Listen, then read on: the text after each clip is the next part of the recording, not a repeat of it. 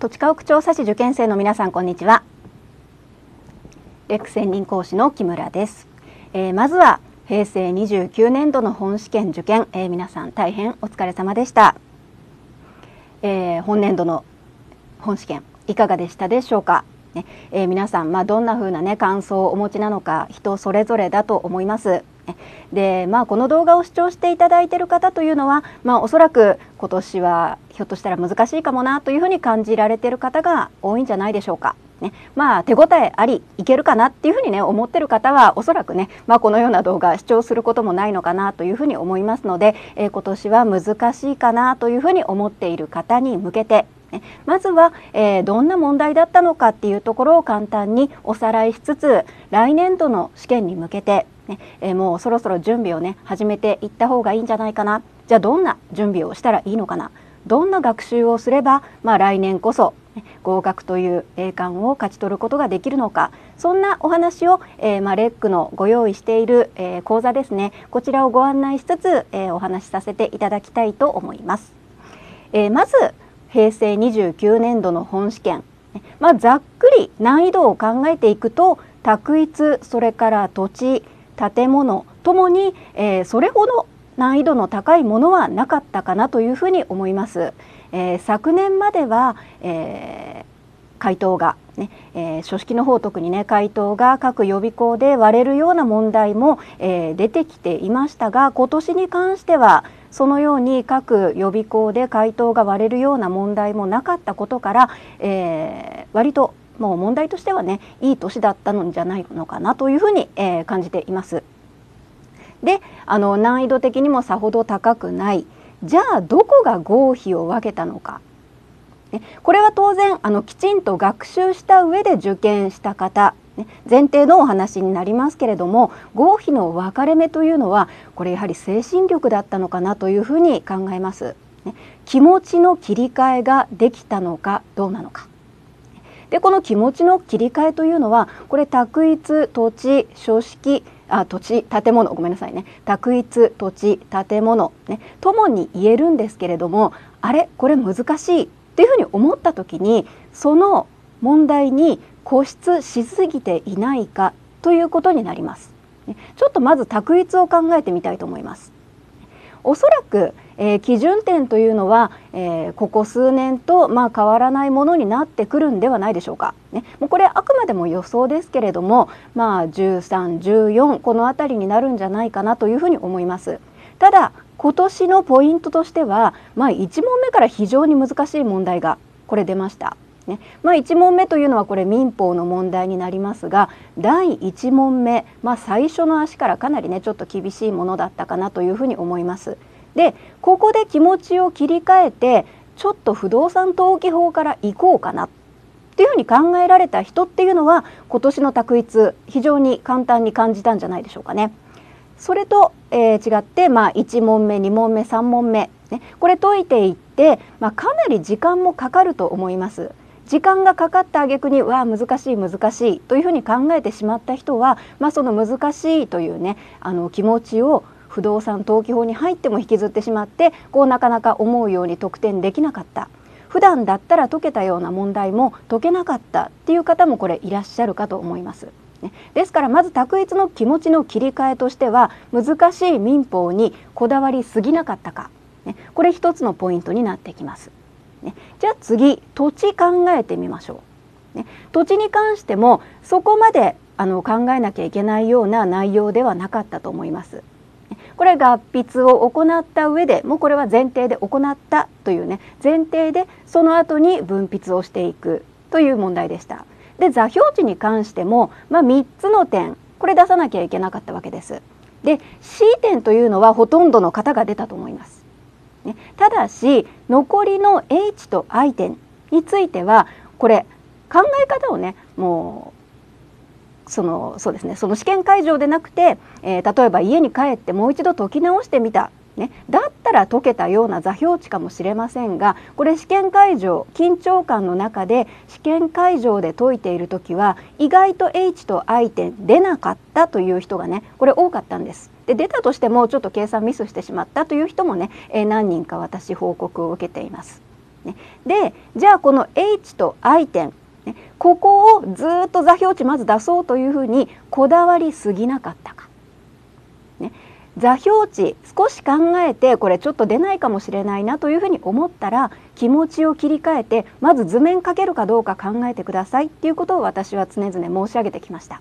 ね、で今回に関してはこの分割点の座標値出なくてもあの綺麗に図面は仕上げられるような問題でした。で図面を描いてる途中で座標値、ね、この算出の仕方が浮かぶっていうようなね問題だったんじゃないかなと思います。だから座標値を出すことに固執しすぎなかったかこれも一つの大きなポイントです。ね、じゃあ建物はどうでしょう、ね、建物も問題の内容としてはねこれ全然難しくなかったかなというふうに思います。前提として分割を行って、ね、でその後2件目として種類の変更それから付属建物を新築したことによる、まあ、表題部の変更登記ですね。でここでやはり精神的にぐらっとさせられるような文言が出てくるわけです。新築した付属建物の構造これ発泡ポリスチレン板なんていう言葉がねこれ出てきました。特に実務やっていない方はもうこれはしょうがないと思います。ね、実務やってる人でも、えなかなか聞いたことないよ、ね、しかもかも、えー、かまぼこ型、まあ、ドーム状の、ね、壁とそれから屋根がまあ一体となってるような建物だなんていうね文言が問題文の中に出てきていました。ね、でじゃあここでもうパニックに陥ってしまって他が手につかなかったなんていう人も実際にいらっしゃるみたいです。ね、でもよく考えてみてください。ね、これって分からなかったとしても限定になるのって構造欄だけですよね。床面積の算定はこれできたはずです。ね、ですから構造欄の減点はまあしょうがないというふうに気持ちを切り替えて他完璧にしてやろうというふうに思えたかどうか。ね、ということは択一土地建物ともにやはり冷静に、ね、冷静に問題を読んで、ね、ここだけできればいいや、ね、ここは捨てていいや。ね、こんな風な取捨選択ができた人がこれ合格へ、えー、届くっていうんじゃないかなというふうにこれ考えています。はいということでじゃあまあひょっとしたら今年はねダメかもしれない。ね、じゃあどうするか。ね、来年の本試験というのは、えー、おそらく10月ということになってくるかと思います。これ法務省のホームページでまだ予定という段階で発表されているので決定事項ではないんですがおそらく、ね、10月、ねまあ、いい時期になってくるかと思います。そうすると今からだいたいこれを収録しているのが8月の23日ということなので14ヶ月ですね1年以上空くわけです。ね、じゃあまだたっぷり時間あるから、ね、じゃあ年明けたぐらいでいいか春ぐらいからで勉強いっかっていうふうに思っていたらやっぱりこれ来年もね同じ結果になりかねない。ね、じゃあどんな学習方法をねしていけば合格に結びついてくるのかな。ね、これはやはり今現段階でどのぐらいの知識があるかっていうね、えー、その個別で判断していかなきゃいけないと思うんですがレックでは学習経験者の方に向けて、えー、このような、えー、コースをねご用意しております。はい、もしお手元にパンフレットねあるよという方はこれ見ていただければいいかなと思います。はい、これ2018年度向けの学習経験者用の土地家屋調査士、ね、えのパンフレットになります。はい、で持っていない方はねあの画面を一緒に見ていただければ結構です。え2ページ目3ページ目えここ開いていただくと、はい、下に A、B、C、D というふうにあります。ね、これがあの学習経験者の方に向けた、えー、レックのコース、ね、講座ということになります。で一番左に東連パックというふうなものがありますが、まあ、これはまだ発売していませんしこの東連パックに関してはもう本当にもう自信がある方だけ実際に東連パックだけで合格できる人っていうのはこれなかなかね数少ないんじゃないかなというふうに思っています。で今日おすすめしたいのはこの A のフルコースということになります。はい、でここでまあ ABCD あるんですけれどもまあ見ていただきたいのは下の部分ですね。はい、講義の総回数というのがあります。ね、ここ見ていただくと B のコンパクトコースというのはこの講義の総回数が34回、ね、ここを見ていただいても、えー、やはりこう内容としてはかなりコンパクトになっていてもう基礎知識はあるよというのが前提で組み込まれたコースになっています。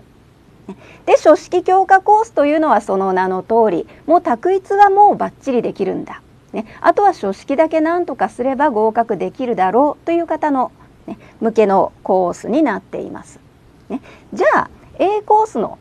フルコースとそれから D のベースアップコースこれ一体どう違うのかっていうご質問をねよくいただくようなんですがまず見ていただきたいのは先ほど申し上げたこの総回数こちら D のベースアップコースに関しては87回ということでコマ数もかなり多くなってきます。ねでどのような内容なのかというとこれは初級講座ね、レックの初級講座に合流していただくコースだと思ってください。ね、だからあの初めて学習される方とほとんど同じようなことをやっていくことになります。ね、前半少しあの飛ばす部分はありますけれどもそうやって考えていただくといいと思います。したがって、えー、やはりこの講義の総回数もかなり多くなってきますので時間にかなり余裕がある方、ね、それからまあほとんどねあの1年目学習していないという方ね、そういった方向けだというふうに考えてください。はい、でじゃあこの A のフルコースというのはどうなのか。はい、これもやはりね基礎をもう一度見直していこうというようなあのコースになります。したがってえ基礎理論もしっかりやります。でどのような教材を使っていくのかというとレックの初級講座で使用するベーシックテキストこれを使っていきます。ね、ただ、えー、ベースアップコースと大きく違うのはこの基礎理論の回数、ね、これを、えー、10回で行います。ベースアップコースの方はこれを確か36回かな、えー、このぐらいだったので、えーまあ、3分の1以下の回数でまとめていきます。ね、ということはまあそれだけね、早く進むということなんですけれどもどのような点に注意して講義をしているかというとこれも得点につながるところ、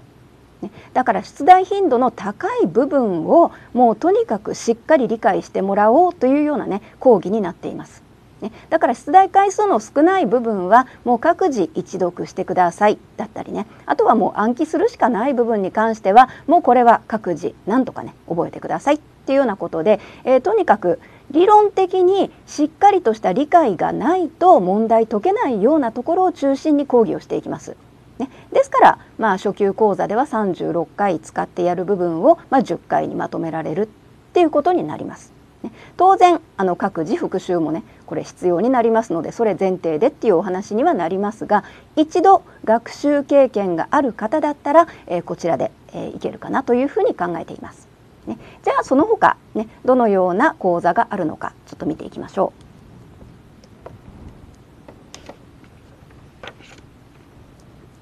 はい、4ページ5ページ開いていただくと先ほどねご案内したこのフルコースそれからコンパクトコース書式強化コースベースアップコース、ね、それぞれありましてどんな講座がついているのかなっていうのがこの下の番号この番号をこの部分に表示してあります。でフルコースに関してはもうこれフルという名の通りこの2番のインプット完成講座もうこれ以外は全部ついているっていうことになります。でこのインプット完成講座というのがこのレックの初級講座に入ってくる部分なんですね。ですからベースアップコースはこの2番が入っているっていうことになるわけです。ね、で下に1から9までありますけれどもこの6だけはちょっとね、えー、これはあの特別なものだというふうに思ってください。まあ、このタイトルから見ても分かる通りこれ過去問攻略講座ということであの10年分の過去問をそれぞれ択一土地建物ね、これすべて、えー、一緒にしたものがまあ一冊という形で、えー、冊子になっているわけです。ね、でそれぞれ、えー、その年度ごとに解説をしていくっていうようなね、えー、講座になりますのでこれだけは特別、ね、興味がある方は、えー、販売開始したらちょっとね検討してみてもいいんじゃないかなっていうことで、まあ、このコースには含まれていないです。ね、だからこの6番は別にして A のフルコースを取っていただくとこの2のインプット完成講座以外はもうこれ全てついてくるということになります。ね、で、え、先ほど基礎理論を10回でやりますよって言ったのはこのリスタート講座の中です。ね、でこの全12回というふうに書いてあるのはこの全10回が理論で2回が、えー、基礎数学ということになります。ね、だから土地の、えー、座標計算等に必要な数学部分、ね、自信がない方は、えー、2回でね、え、その基礎数学というのもやっていきます。でこの基礎数学の中で簡単な複素数モードの、えー、説明もしています。複素数モードというのはまあ電卓のまあ機能の一つです。ね、ただまあ今はねこの複素数モードを使って解いている方というのもかなり多いです。で実際にあのかなり便利な機能になってきますのでまずはその基礎数学の中で、えー、その電卓の複素数モードも説明していきます。でフルコースを取っていただくと5番の計算特訓講座というのがねこれついてきます。でこの計算特訓講座、ね、ここで、えー、今年から複素数モードをやはりしっかりとねここに取り入れています。はい、でまあ複素数モード複素数モードっていうふうにね、えー、言うとまあ数学が得意な人がねやることなんじゃないかなっていうふうにねあの考えられる方もいると思うんですがこれ逆なんです実は。数学が得意な人はこんな電卓の機能に頼らなくてもいけるんです。ね、じゃあどんな人が必要かって言ったら逆に数学嫌いな人、ね、苦手な人。学生時代から苦手だったんだ。今も座標値の計算、ね、見るだけで本当嫌になってしまう。そういった方こそやはり電卓に頼るのはこれ悪くないかなというふうに思います。ねまあ、それだけ機能としては便利なものなので、えー、今まだねあの標準モードでしかやっていないっていう方もあのぜひ取り入れていただきたいと思います。ね、でまあこの講座を受けてみて、えー、必要ないかなというふうに思ったらそれはやらなくてもいいわけですし。ね、ただあの説明した方にはねあのじゃあ取り入れてみようっていう方の方がね当然多いです。まあ、楽ですからね。でまあ計算ミスもやはり少なくなるかと思います。ね、こういった講座もついていますのでやはりねあのかなりお得になっていると思います。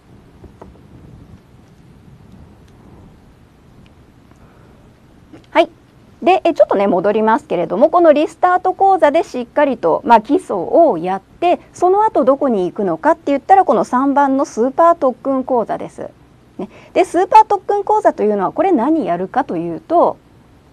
択一に関しても書式に関してもこれ過去問を中心にやっていくことになります。ね、で過去問中心に時間を計りながらこれやっていくんですね。で択一に関しては私担当させていただいているんですが、えー、それぞれもう問題の足ごとにもバラバラにしちゃいます。ね、もうだから普通に本試験だったら五子択一ということで解いていきますよね。だから五子択一だったら解ける問題が、ね、組み合わせ型の問題が、まあ、今年もねあの全ての20問全て組み合わせ型の問題でした。で組み合わせ型の問題だったらこれ消去法で解けるんだけれどもこれ全ての足をばらして正誤を判断する、ね、一問一答形式になっているのでこうなるとこれ途端に正答率が低くなるっていう方がほとんどです。ねでそれを全てばらして分野別に並べてそれぞれ時間を計って解いていくっていうような方法で訓練していきます。まあ、ほぼほぼ訓練です。ね、そこで時間の感覚というのもね、えー、身についていきますしスピードアップにもなる。そして一問一答形式にすることで自分がきちんと理解できていなかった部分っていうのも見えてきます。ね、そうするとそういった部分に関してはベーシックテキスト、ね、リスタート講座の方に戻ってそこを復習する。そういった、まあ、相互学習ができます。ね、そうするとこれ一気にね択一の点数っていうのもこれ上がってきます。ね、だから、えー、択一のこう基準点、ね、もう超えられないっていう人はもちろんのこと、まあ、超えたんだけども今一つこう自信を持って回答できているものが少ないなっていう方はやはり基礎知識が不足しているのかなというふうに思います。で基礎知識をしっかりインプットしたつもりでもそれがアウトプットできなければやっぱりこれ意味がないわけですよね。だからそれをリスタート講座とそれからスーパー特訓講座の相互学習によって得点力にしていく、ね、そういった講義を、え、していきたいと思っています。で書式の方も、ね、やはりこれは過去問をベースにしてしっかりと、えー、まずは読むというところにね、力を入れていきます。でこの書式の方の、えー、っと通信の方向けの収録講師は、えー、池永講師になります。で水道橋の生講義は私木村が担当させていただきます。でやはり、えー、近年問題文は非常に長いというのはこれ続いていますよね。読み取りが大変なんです。で、まあ、これはやはり実務に即した形になってきていて、まあ、こんなシチュエーションの場合あなたが調査士だったらどんな登記を申請しますか？お客様にどんな説明をしますか、ね、でそのどんな説明をしますか？っていう部分がやはり記述の問題として出題されているわけですよね。だからそういったところもしっかりと答えるためには基礎理論の知識はもうこれ欠かせないわけです。だから書式の方に関してはしっかりと問題を読み取れるようになること、あとは土地の方では座標値の計算ももちろんやっていきます。あとは作図なんかもね、えー、しっかりとこのように作図すると早いのかなこれはもう建物も土地も共通ですけれども、えー、しっかりと行っていきますので安心して受講していただきたいかなというふうに思います。はいということで、えー、まだ試験明けたばかりだと思います。ねまあ、皆さんも少しねあの休んでいただければいいのかなというふうに思いますけれどもこれいつまでも休んでいるわけにはいかないですよね。やはり今まだ皆さんは勉強癖がついている状態だと思います。ね、そういった、まあ、癖をなくさないうちにやはり次のね、あの目標に向けて学習はね始めていった方がいいんじゃないかなというふうに思います。はい、でパンフレットの方なんですがあの詳しい内容はそれぞれあの各ページを設けていますのであのぜひお読みください。で一番最後のページ、はい、ちょっとご案内しておきたいんですがこのように合格者に関してはね、受講していただいたとしても平成30年度向けのね、えー、講座を受講していただいたとしてももし平成29年度の試験合格していたんだっていう場合これ100%ね、これ受講料返還することができます。まあ、手数料等々ねちょっとあのできない部分もあるかと思いますけれども、えー、ここに関しては受講料に関しては100%返還することができます。もちろんテキストねあのいろいろ書き込んでいても OK です。ね、ですからあの全然安心してあの申し込んでいただければいいのかなというふうに思います。ね、あの皆さんに損のないようにね、えー、できていますので、えー、そこは安心してください。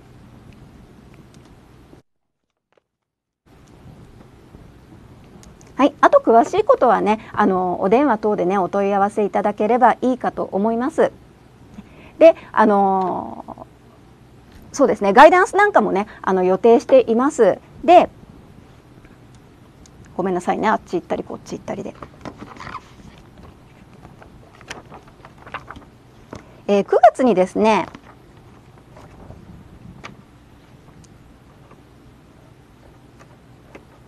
はい、9月の24日ですねこのような小学生試験というものをね、えー、実施していますこれもちろんね無料で受けることできるんですけれどもこの結果によってはあの講座の割引かなり大きな割引が適用されるね、えー、ものもこれありますので、えー、この辺りもぜひ利用していただきたいと思います。で、あの各本校でこれ実施することになります。ね、こちらの方ご確認いただければと思います。でこの小学生試験の後ははいここですね。そのまま本試験の詳細解説会ということで、えー、択一と書式両方に関して、えー、ここで詳しくねどんな問題だったのかっていうところをね解説するようなね場も設けています。こちらの方もねぜひあのご参加いただければと思います。東京ですと、えー、水道橋本校であの生でやらせていただきますでこちらの各本校にも中継で同時配信というふうなことでねあの行いますのでお時間ある方はぜひね、えー、こちらの方ご参加いただければと思います。はいということで、あのー、最後までねご視聴いただきありがとうございました。今はまだ、あのー、試験でねうまくいかなかったっていうショックがね残っている方も多いかもしれません。ね、ただ、まあ、いつまでもねショック受けているわけにもいかないので、えー、次に向かって一歩ね踏み出していっていただきたいと思います。そして必ずね合格という栄冠を勝ち取っていただいて、えーと、地下奥調査士としてあの世に出ていただきたいなというふうに心から願っています。はい。ということで、えー、短いお話でしたけれども、えー、私の、ね、お話とさせていただきたいと思います、えー、最後までご視聴ありがとうございました。ここで失礼いたします。